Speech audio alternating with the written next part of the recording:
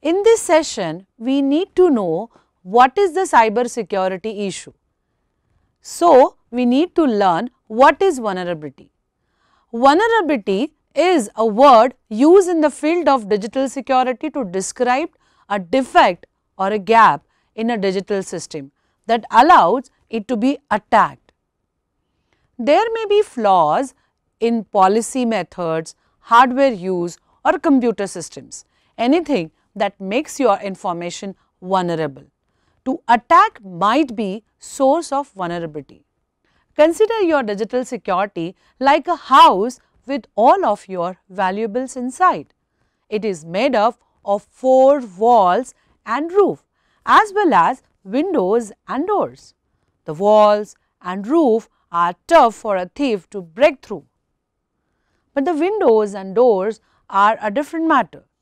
A door or window that isn't securely closed or latched or has become simpler to force open due to poor maintenance might be a risk. When an opportunist thief observes this, he or she will try to break into your home.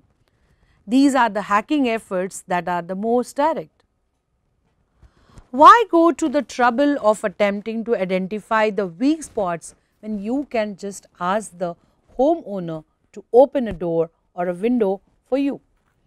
This is the phishing strategy. You are drawn to the door and persuaded to open it and let the thief in a by dubious way they can create a major disturbance once inside or as a demonstrated in the next stage they just want to prove they can get in. Let us understand what type of attacks we need to uh, learn and that is why I would like to highlight types of attackers for your reference. As the world adopts more digital and hyper connected components, attackers will have more possibilities and pathways to get access to our most sensitive data. From banking to retail, healthcare to entertainment and even government, data breaches have become routine. There is no industry that is unaffected.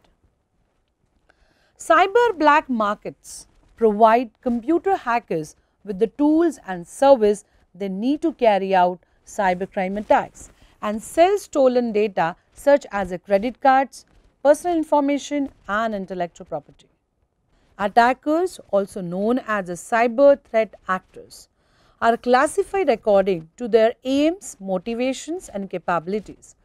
These threat actors might be classified as a cyber terrorist, hacktivist, state sponsored actors or cyber criminals depending on their motive.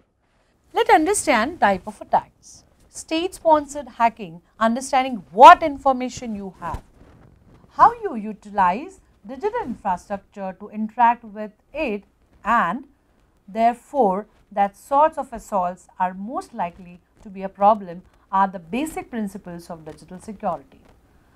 A opponent for example could want to hack your system to learn what new items you are working on.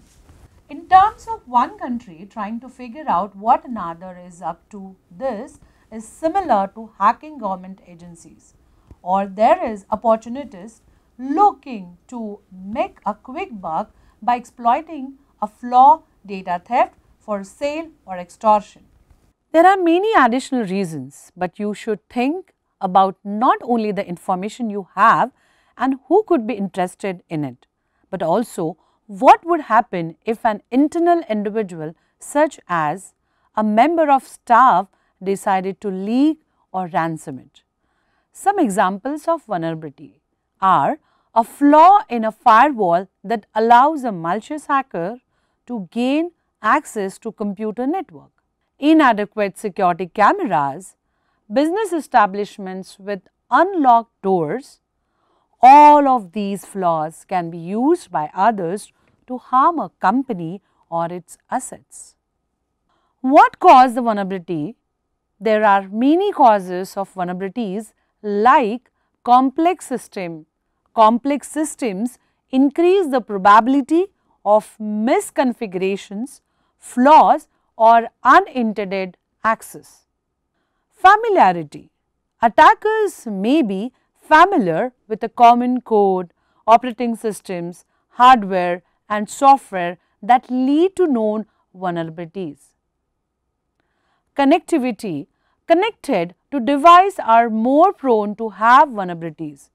Poor password management Poor password management means weak and reused passwords can lead from one data breach to several.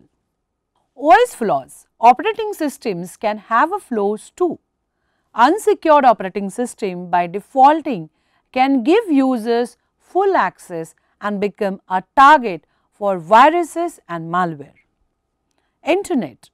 The internet is a full of spyware and adware that can be installed automatically on computers. Software bugs. Programmers can sometimes accidentally leave an exploitable bug in the software.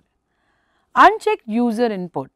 If software or a website assumes that all input is safe, it may run unintended SQL commands. People. Social engineering is the biggest threat to the majority of organizations. So, humans can be one of the biggest causes of vulnerability. After understanding what is vulnerability, we also need to learn types of vulnerability. System misconfiguration, unpatched or outdated software and missing or poor data encryption.